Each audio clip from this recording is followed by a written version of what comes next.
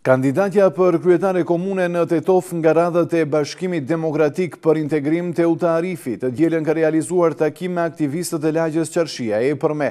Ajo në këtë takim ka falënderuar të gjithë aktivistët për punën e bërë në raundin e parë dhe inkurajoi ato që të vazhdojnë me punën edhe për raundin e dytë. Mesazhi im është që të vazhdohet domethënë me punë, të mos bie intensiteti i punës. Normalisht unë jam shumë mirënjohëse të gjithë votuesve, të gjithë aktivistëve, të gjithë qytetarëve, të cilët në raundin e parë treguan mbështetjen që e treguan.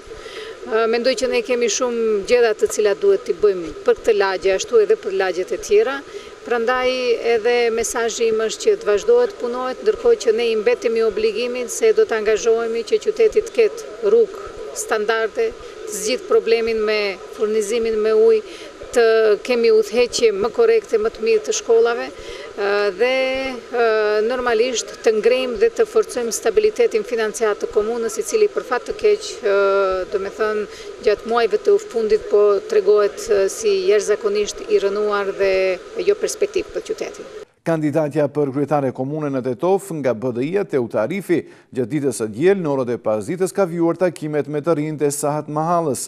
Takim ka mbajtur me qytetarët në restorantin Senator dhe restorantin Dy Bresta.